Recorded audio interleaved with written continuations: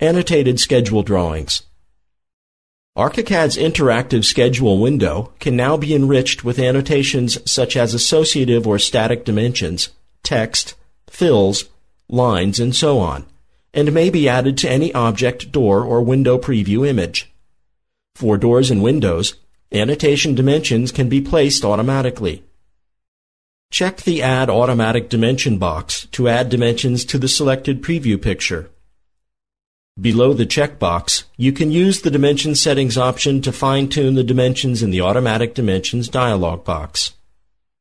If your interactive schedule includes previews of objects, doors, or windows, you can add automatic dimensions to these preview pictures in the schedule. Dimensions in the interactive schedule preview cells can be associative. If you modify the object size in the project, its dimensions, as shown in the interactive schedule, will be modified accordingly. The preview picture of the selected element opens in a separate 2D window called Element Preview Window. Here, all 2D tools are available to annotate the preview picture.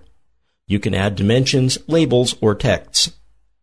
You can also add annotations from available libraries using the Object tool. Once you are done with the annotation, click OK to close the preview and instantly apply the annotation to all the elements in your design. Door and window previews can be associatively annotated right in the interactive schedule window. This feature alone saves significant drafting time for the documentation team.